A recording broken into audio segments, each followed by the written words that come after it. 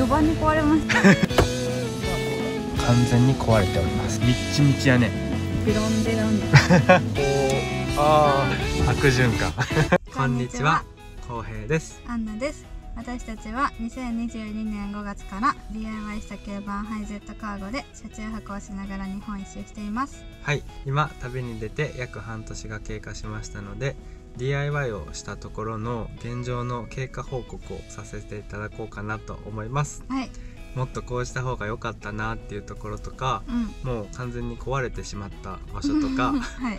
ありますので はい。あとはまあ逆にここは良かったなっていうところなどうん。話していこうと思います。はい。DIY 後の経過が気になる方は、うん。ぜひ最後まで見ていただけると嬉しいですでは DIY をした順番に一つずつお話ししていこうと思いますので、よろしくお願いします。それではまずは塗装についてです。はい。外装の方は半年経った現状いかがでしょうか？ちょっとここを見てほしいんですけど。はいはいはい。剥げました。ここですね。結構なんかこうザラザラした。見えないけど。ちょっと汚いねシンプルに。こことかもかな？あそうね。こうだねザラザラした感じの仕上がりになるので、うん星がめっちゃ張り付くんだよねそうだね。ね。で夏北海道とか走ってると、う夜とか電気に向かってめっちゃ飛んでくるから、うん。出ちゃってヘルメにつく。うん。そして気持ち悪いから、うん。そのままにしてたよなうんほったらかしにしてたらもうその虫の体液がなんか固まっていってうん最後北海道出る時にうん。それをこそぎ取ったらい。塗装ごと剥げたと、そう これがまあ外装主なハゲポイントかな。あとはすごい綺麗。ね。何ら問題ない。洗車もやったけどね。落ちることなく敗因。外装は二度塗りやねローデシアブラウン。でこんな半年後はこんな感じです。はい。はいで、まあ、内装もうん。何ら問題ないんだよね、そう内装は。まあ、一応ちょっと見ておきますけど。うんこの辺とか見る？うんなに大丈夫、ここ今削れてた。なんか硬いものが当たるとうん。ちょっと削れちゃうぐらいかな、うん。うんけどまあ綺麗なもんです、そんな気にならない。ですはい。というわけでこれが塗装のはい。半年後でした、はい。では続きましていきましょはい、うでは続きましてデッドニングについてです。はい。精神剤と断熱材を貼りましたがはい、どうですか？現状は。まず精神剤は、うん現状維持やねほんまにいた これわかるんかわからんけど。まあ普通の車じゃない音だねそのコンコン音。はうん。なんか止まる感じでねまだ。そう。だから精神剤はかなり威力を発揮してくれてると思います、はい。では断熱材はいかがでしょうか？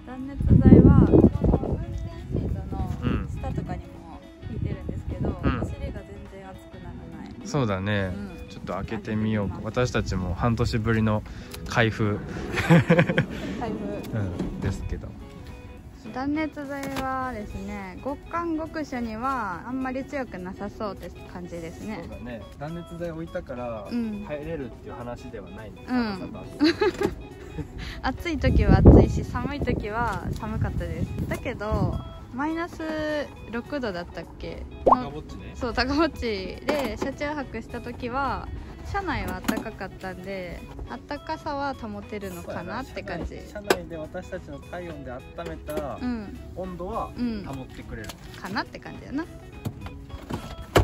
さあどうだ？どんな感じですか？はい。こんな感じです。これを剥がしたら青のデッドニングがあるんだ。あるんだったこれが標準装備の黒いやつでう、ん。シルバーのが断熱材。うん。こんなところも全部やってましたけどこれによってこのお尻の厚さからは免れたね。免れた。はねい。よいしょ。なんで精神剤は間違いなく効果はあります。はい。断熱材は時と場合によってそうね。効果を発揮します。はい。ここは効果を発揮しました。あるね。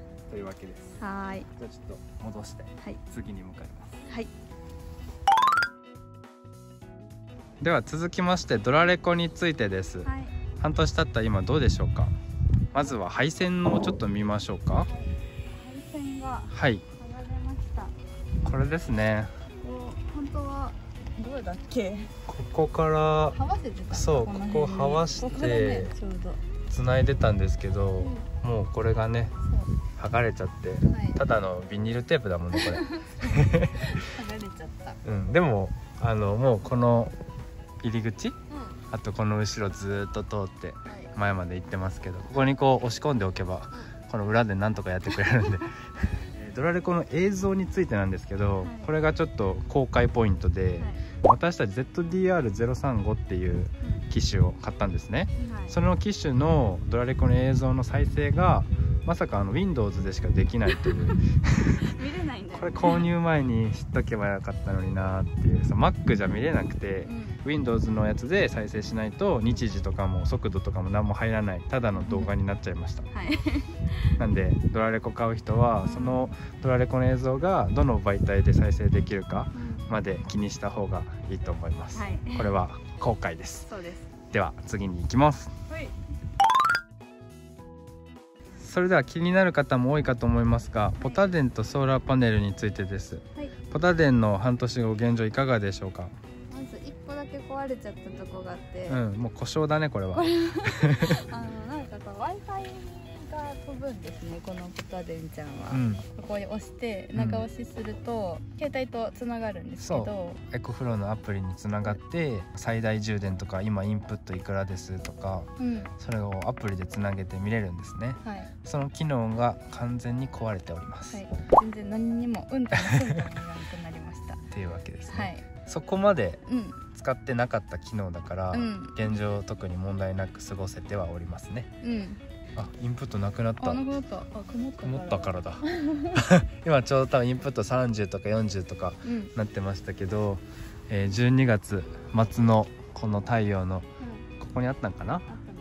位置で、まあ、大体30ワットぐらいしか発電してくれません。はい。夏の真上に太陽がある時はうん。最大160ワットぐらいはい。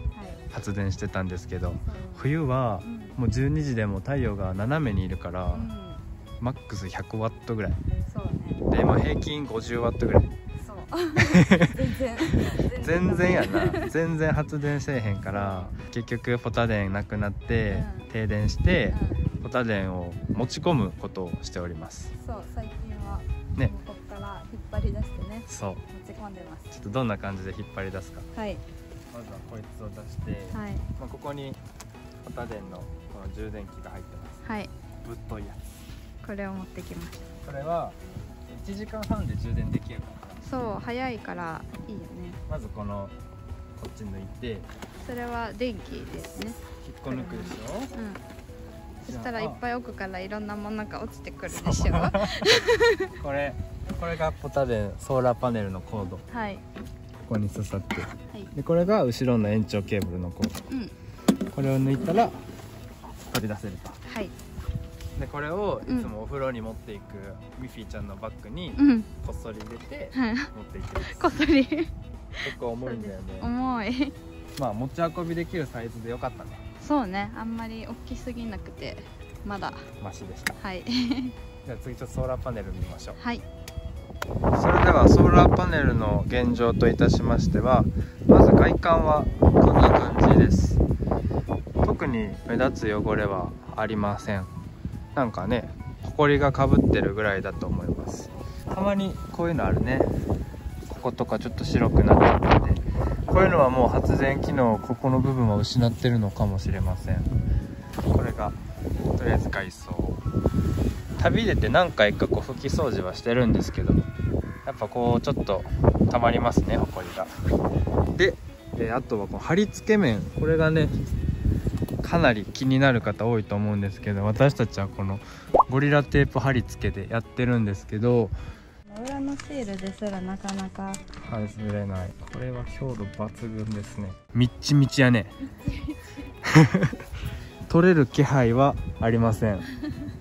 全然。大丈夫そうね。うん。もうすんごい密着してる。こんな感じです。結構なスピードで走っててそうやね。うん。台風も越えたしはい。ここまで半年旅してこの密着具合なら、うん。ゴリラテープ神ということで。そういうことで。ゴリラテープの案件みたいな。こんなに協力やとは思わなかったよ、ね持ち運び用のやつを貼り付けてる人は見たことないけどうこのやり方はん、いけると。いけたね。ゴリラテープのおかげで大丈夫です。い。じゃあ次のところへ行きましょう。はいでは続きましてインパネの塗装の様子を見ていきましょう、はい。私たちはラッカースプレーだね。この辺ですね。そう。密着ロンとうん。このアイボリーの塗料を使って塗装しましたけど。はい。あ剥げてますね。あとはここ。おここはあっちゃんが道の駅スタンプを押しているノートが入っている場所でして はい。毎日触るんだね。そうこここれこれ出してこれこれガコンってなる。こんな感じでうん。毎日触れるところははい。剥げております。そう。こうだ。そうだね。これが一番ハゲてるかも。ここ一番剥げてるね。こんな感じ。本当だね。ここがハゲてる。シフトレバー。うん。握るからねこうやって毎日でもそうじゃないところははい。もうピカピカ。ね。特にこの辺とかもめちゃくちゃいい塗装できてるうん。すんごい綺麗、綺麗です。この辺も綺麗。そう。いいですよね。うん。というわけではい。インパネのこのアイボリー塗装は、はい。まあしょうがないよね触れるところは、うんそうね。なんで他のところは完璧だと思います、はい。この後ろのドアのところも塗装しまして見えるかな？ここですね。本当だね。このここ剥げててここもここが剥げてる。これは何かというとこのベッドにつくんですね。こんな感じで。これはベッドの設計上しょうがないね。ここについてるしここもすごいなんか円になっとるわ。ぐるぐる回すからですね。これが中心のところこんな感じで日々接着してしまうところははい。剥げると。そう まあしょうがないね、はまあしょうがないですい、というわけです。これが現状。はい。では次に行きましょう。はい。それでは続きまして内張りについてです。はい。確かこんなサムネだったね。ね。画角的には。どうこの茶色い内張りは？え全然問題ない。ね。これはやってよかった。やってよかったね。すごい綺麗ね結構大変だったけどね、うんめっちゃ大変だったね。なんかいろいろやって、はい。ホッチキス止めたりして。うん、なんかやった時はこのホッチキスがちょっと出てるんがうん、どうなんだろうと思ったけど、触らないねここ。全然触らない。そもそも。大丈夫。大丈夫です、はい。この内張りに関してははい。おすすめです。丸では次に行きましょう。はい。はーいそれでは続きましてバックドアの DIY についてですがはい。機能しているんでしょうかこれは？これはあの作っている時からうすうす気づいてはいましたけど、うん。全然意味なしてません開けれないですそうなんですよね。これあのそこのうん。何鍵になってるとこにうん。穴を開けて、うん。内側から開けれるようにしたんですけど、うん。このなんかこの押すボタンのところに手が入らない。無理やねんな。これだ。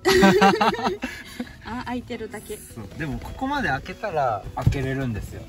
これをどかしてあとは指の力でなんとか。ほら。こあ開いた開いた。うやっていける。おいはい。他の方々ここにねそうそこの上のところに穴開けて。戻ってきて。ここにね。そうそこに穴開けて上から針金通して押したらね簡単に開くようにしてるね。されているんですけど車体に穴を開けたくなくてうん。この形にしてますね。はい。これが、えーバックドアの DIY ベッドが高くなることを分からずに した結果はい。ですね。そう失敗ですかね。これはまあ失敗と言えるね。う、ん。全然便利じゃない。はい。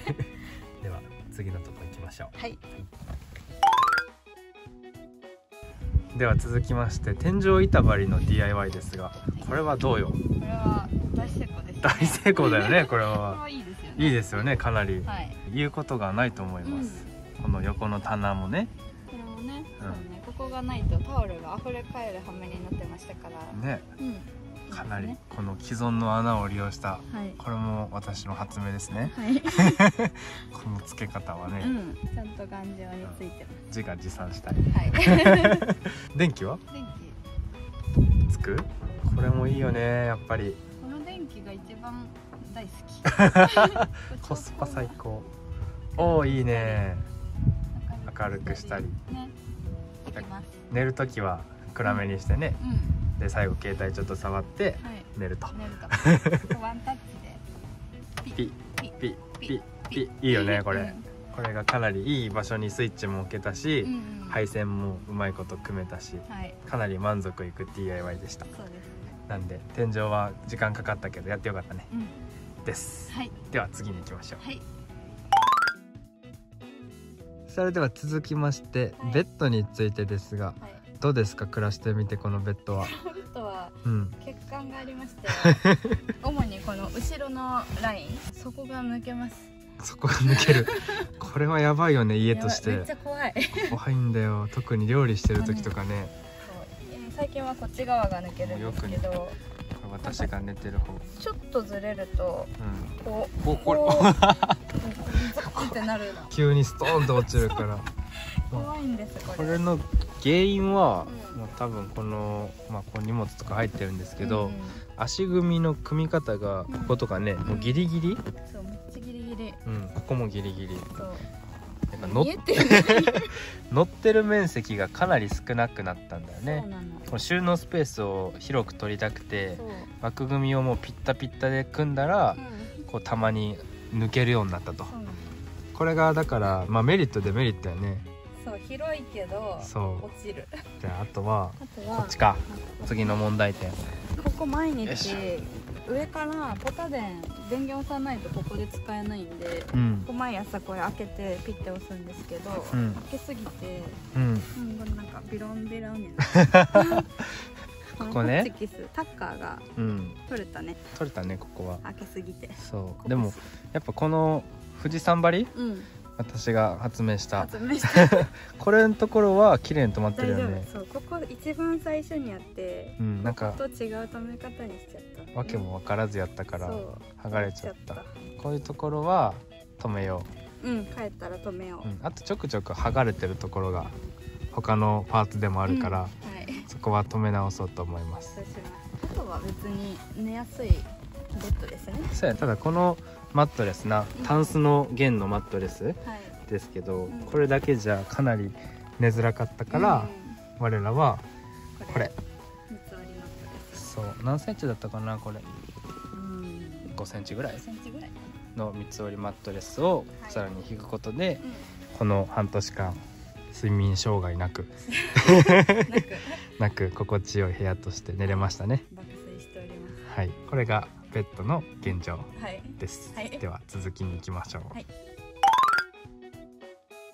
では続きまして、はい。後ろのスライドレールについて半年経った今こいつはいかがですか？これいけますよ。よいしょ、開かない。まあ本当に開かないんです、かなり頑張って作ったんですけどやっぱこれが素人 DIY の現実ということではい。あの壊れてるね完全に 序盤に壊れました旅出て一月ぐらいでい。もうまずスライドレールを組む時に、うん。私があの平行とか何も考えずにねう組んじゃったから多分噛み合わせがあんま良くない、ん。うん出てきてたんだけどなここ引っ張ったら簡単に。なんかねこのもしかしたらこういう何？塗装？うん。こういうののネチャネチャ具合うん。もあって結構密着しちゃった。ここはね開きます。ここは開くねたまに使うぐらいか。そうね。ここだけはもう開かずの扉となってしまいました。我が家のおしゃれポイントとして頑張ってつけましたけど、はい。ただの飾りのおしゃれに 機能しないおしゃれになってしまいました。これが現状です。はい。では次に行きましょう。はい。では続きましてハンドルカバーとシートカバーですがどうですか？ハンドルカバーはめっちゃ大変だったけどつけてよかった、そうだね、うんこう滑りがいい感じ、そうだよ持ちねやすい。縫い目はこんな感じ。そうです。ほどけないねそんなに。大丈夫です綺ね麗についてます。うん。運転しやすいね。めっちゃうんこれしやすい。ね。これはかなりやってよかったね。うん。あとシートカバーは？こちらもまあつけただけですけど、うん。結構ツルツルでなんかこぼしてもすぐ拭けるし、うん。あとこれもお尻の厚さに一躍勝ってるかもしれません。そうだね。このエンジンの厚さがうん。さっきデッドニングの効果かなって言ってたけど、うんうん。この1枚ねうん。合皮があることで、よりお尻の厚さが軽減されてるかもしれません、はい。まあよかったね。コスパのいい DIY でしたねこれは。ね簡単やし。というわけです、はい。では続きましていきますでは次はサイドテーブルと有効ボードですが、い。使い勝手はどうですか？めっちゃいい。めっちゃいい。これはやってよかったナンバーワンぐらいこいい DIY だったねこれは。確かに、うん、これ私は毎日朝これれね。やってうん。ほんであの鏡がねここにありますからこうやってうん。これお化粧してます。お化粧してます。髪の毛巻いてますねここが、まあ、電源も近くてかなりいい。ここがあるから家って思えるね。そうこれが家 家の象徴。スペースですね。あとゲームしたりもしてますうん。サイドテーブル良かったね。うん。この有効ボードはいかがですか？有効ボードもめちゃめちゃ使い勝手よ良いですね。良いですか？ここにあの毎日使う化粧品とかうん。櫛とか。日用品だね。そうもうなんかおしゃれにしようって最初思ってたけどさ、もうこんなことになったうん、ね。ダメなんでね。もうただただ毎日使うやつらが並んでおりますね。そうここに入れておくことでうん。お尻しやすいね。そう。でかけるのがこのフック有効ボードでよくあるフックでかけてるんですけど、はい。こいつがねよくなくなるんですよね。これはどっか行くね。なんかここにかけてたらな落ちちゃうよね、落ちちゃう、そう。結構段差がある道うん、に行ったらなんか後ろで被害が 多発しております。でかなりやばい時うん。もうあのドラレコが事故と判断してうん。緊急録画を開始しますみたいな。みたいな道の時はね。ずり落ちましたね。全部これがもうここにガッシャンってね。そう。このこれ磁石でねつけてて、はい。これ私の発明。発明。これ素晴らしい発明。これがもう全部うん。ずり落ちてね、そう。5個磁石つけてるんですけど、うん。磁力でどうにもならなくてう、ん。有効ボードが落ちる、これがね。うん。っていうのが1回ありましたね。びっくりした。事故か思ったな ほんまに。なっんか何が起こったのかわからんかった。ていうぐらいひどい道じゃなければ、うん。そうちゃんとこれもカゴもねというわけでこれはすごく良かったです、はい。では次に行きましょう。はい。それでは次はカーテンとプラダンの DIY ですがはい。カーテンはいかがですか？カーテンはうん。一番直さなきゃいけないところ、そうなんです。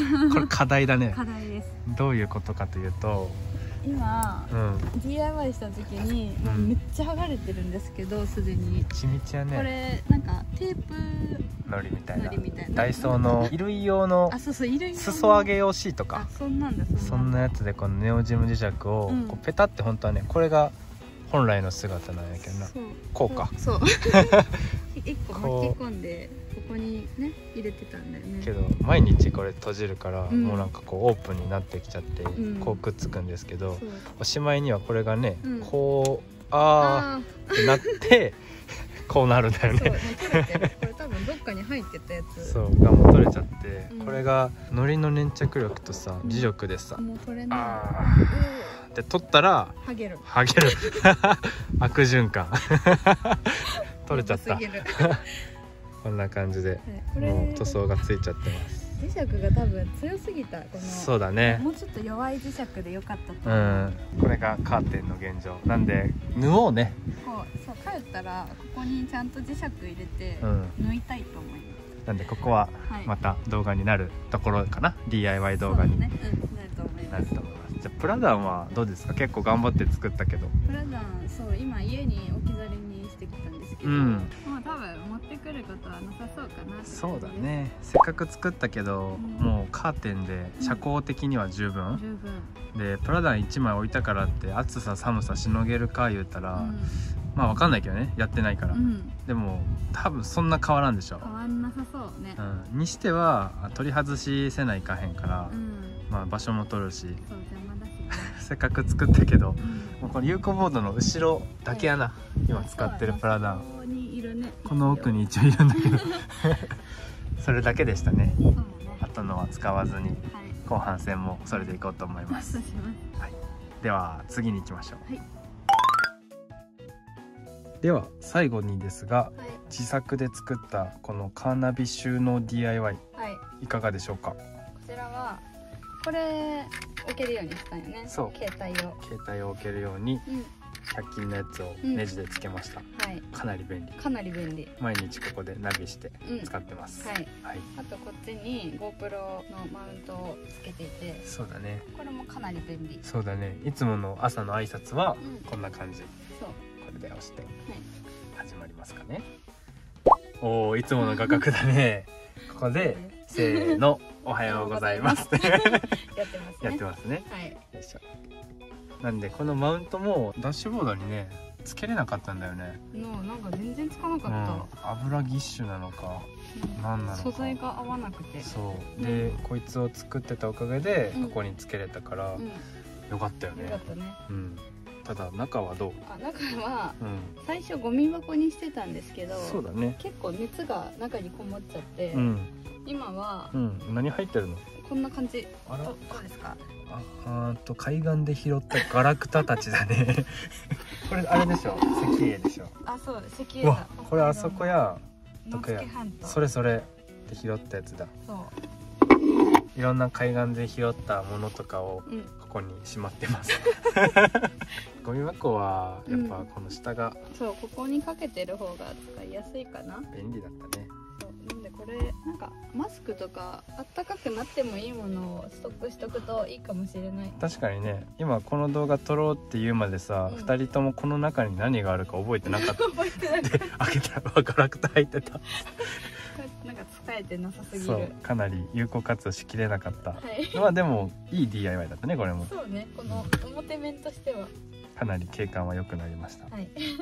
ではこれで DIY の現状報告は終わりです。終わりです。おーいそれでは長らくお話ししましたがこれが半年間旅して分かった DIY の現状です。はい。成功したところもあれば失敗したところもありました。はい。試してみないとなかなかわからないことがいっぱいありますね。そうですね、うん。やっぱ空想で作ったから。こんな感じかなーっつってね、実際全然使わなかったり、はい。使おうと思ったら壊れたりうん。うんいろいろありましたけどはい。これが現状です。はい。直したいところはまた大阪に帰ってから DIY して動画に出すと思いますのでよろしくお願いします。はい。ではこの動画がこれから DIY する人の参考に少しでもなれば嬉しいです。はい。ではご視聴いただきましてありがとうございました。さようなら